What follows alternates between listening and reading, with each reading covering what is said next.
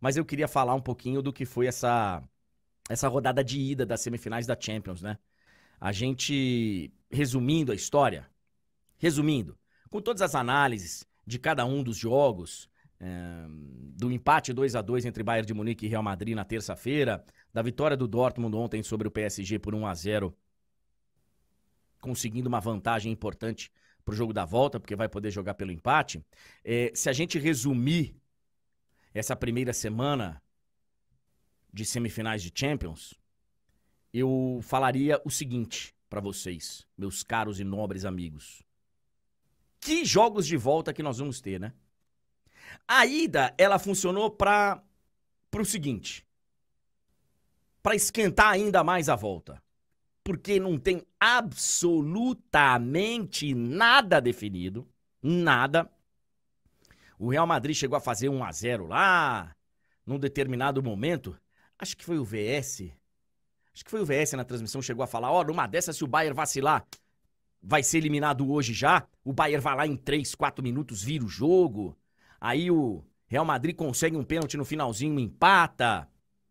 Ficou viva e muito viva essa semifinal, esse jogo de volta entre Real Madrid e Bayern de Munique, com um detalhe interessante, uma curiosidade estatística interessante para quem gosta das estatísticas.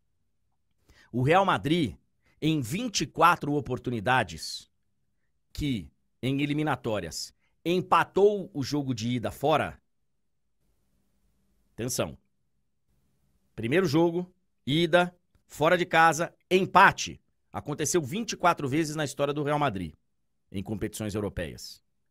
Em 23, o Real Madrid se classificou, seguiu adiante. Tudo bem que tem um detalhezinho aí que a gente tinha, não temos mais, graças ao bom Deus, demorou inclusive, tinha o critério do gol fora, né? Então, às vezes, o Real Madrid ia para esse jogo da volta sabendo que, por exemplo, um 0 a 0 lhe classificaria. Mas não deixa de ser uma estatística das mais interessantes, né? Em 24 vezes que o Real Madrid empatou o jogo de ida fora de casa, ele passou em 23. A única que não passou foi, acho que em 91, se não me engano, contra um time da Rússia, que ele empatou fora e perdeu em casa. Foi a única vez. Foi a única vez. Então vamos ter um jogo de volta espetacular no Bernabeu. Sensacional. E também teremos um jogo espetacular no Parque dos Príncipes. Ontem a atmosfera, né? Daquele. Daquele Signal Iduna Park. O famoso Westfalen. A muralha amarela. Cara, aquilo ali é fascinante, né? é fascinante. É um negócio fora do comum. Eu já tive a oportunidade de narrar jogos lá em Dortmund. Nunca fui na Muralha Amarela, mas gostaria. Uma hora dessas eu vou vou tentar realizar esse. Eu acho que tem algumas coisas pro fã de futebol, algumas coisas que se ele puder fazer, ele deveria fazer. Assistir um jogo no Maracanã, assistir um jogo em Anfield, na torcida do Liverpool, eu acho que conhecer o Bernabeu, ir na Muralha Amarela. Tem algumas coisas aí, tem várias outras, né? Tem várias outras. Que ir num jogo de Champions, pô, numa final então nem se fala. Mas mas é é realmente algo fantástico. E a gente tem agora o Paris Saint-Germain precisando mostrar serviço no jogo da volta. Paris Saint-Germain ontem ficou devendo bastante. Bastante. Mbappé mal. PSG finalizando pouquíssimas vezes no jogo. E até numa dessas escapou de sair perdendo demais. E agora, o próprio Luiz Henrique falou isso na entrevista pós-jogo. Nós vamos ter uma uma partida de volta diferenciada.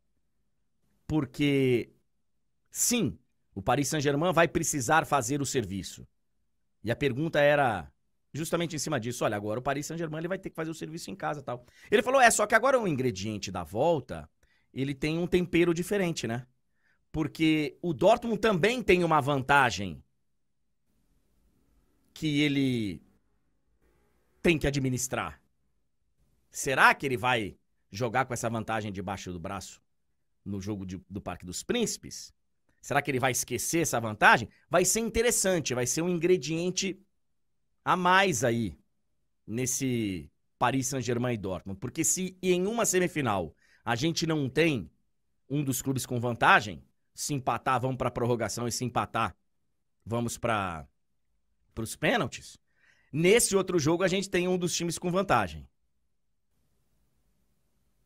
Então, como eu disse no comentário, no início do comentário aqui, inicial de hoje, essa primeira semana serviu basicamente para esquentar ainda mais os jogos da volta. E para você que começou a temporada com aquela carinha de segunda-feira de quem tomou uma limonada azeda. É, Champions esse ano? Não, não. Faz o seguinte, não vê não os jogos da volta na semana que vem.